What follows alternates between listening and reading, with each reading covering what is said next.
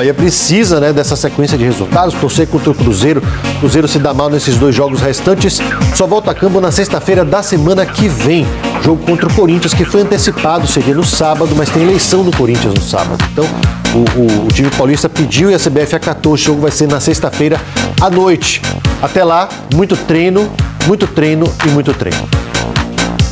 Depois de dois dias de descanso, o Bahia volta aos treinamentos. A reapresentação vai acontecer hoje à tarde no CT Evaristo de Macedo. E agora, mais do que nunca, precisa vencer o próximo adversário. Será o Corinthians, fora de casa. A gente vai ter que trabalhar porque temos quatro finais ainda.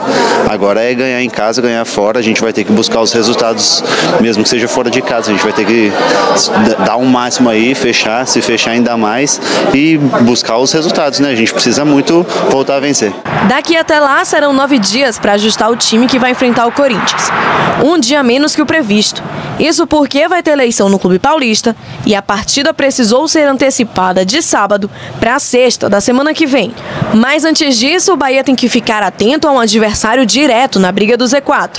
O Cruzeiro, que joga contra o Fortaleza e Vasco. Se o time mineiro vencer um desses jogos, o tricolor entra na zona de rebaixamento. A gente precisa, é, a gente tem que ter a consciência, a responsabilidade. A gente está num grupo muito, um time muito grande, então a gente tem que manter esse time na Série A. É o alvo e a gente vai ter que dar um jeito. Não sei como, mas a gente, a gente tem que fazer acontecer.